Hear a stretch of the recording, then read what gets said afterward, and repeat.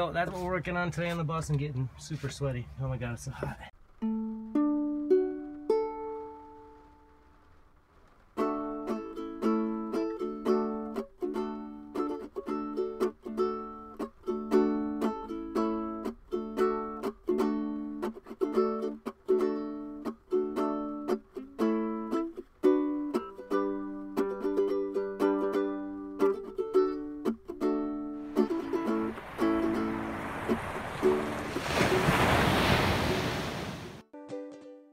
Working on today on the bus. Uh, so we've taken the seats out here, but these are the frames that the seats sat on.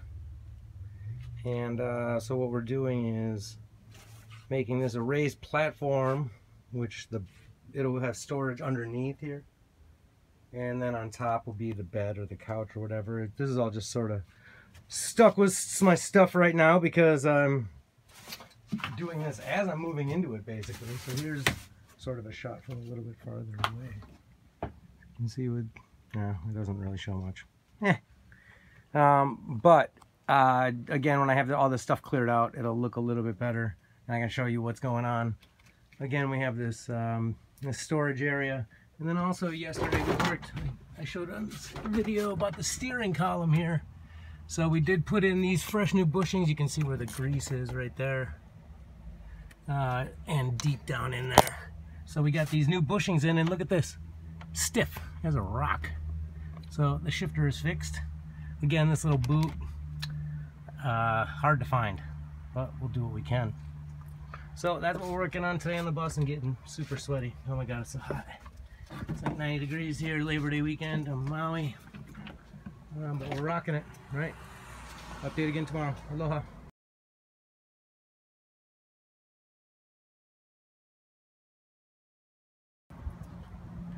Alrighty, so here you get a better look at what I'm talking about, this storage unit that's been built. This video doesn't show really how much room is in the bus. So I built this little storage area that on top of it is going to go a bed or a couch, something, futon maybe, right? Uh, this will lift up so you can access all the storage underneath. And yeah, that's it, pretty simple, right?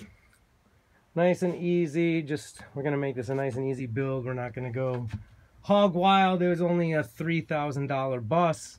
Uh, so we're not gonna make it into a thirty thousand dollar luxury apartment. Um, but we're gonna make it a very nice beautiful living space and comfy and cozy.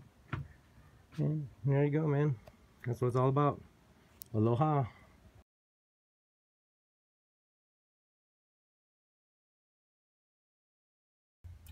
Alrighty, it's getting a little late, but I just wanted to show what I did here really quick. Um, this used to be where the heater was underneath this final seat here on the back of the bus. And, uh, I mean, I think it was leaking anyway, so that means it was shot. But I live in Hawaii, not really needing the heater, not going up to the top of the mountains too much. So, um, what I did is I disconnected the heater. Um, I just took the the tubes and the hoses and basically just coupled them together. And uh, I did make a little bit of an antifreeze leak um, but I just plugged it back up. I I did plug my thumb over the one end and, and tried not to introduce too much air into the system and I did clamp off the other one while I did that. And um, so these are electric wires that are what's left here.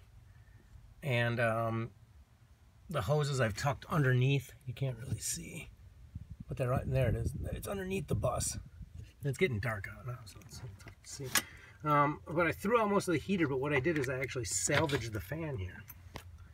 And so you see these wires connect to those wires.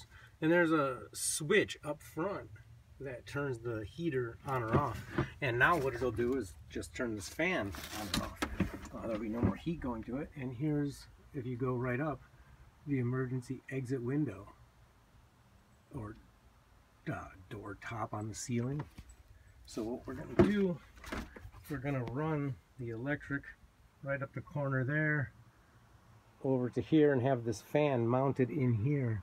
So it'll basically just, you know, be able to run off of the car's electric or the bus's electric and put some ventilation in through the uh, emergency access door on top. Right on. Aloha.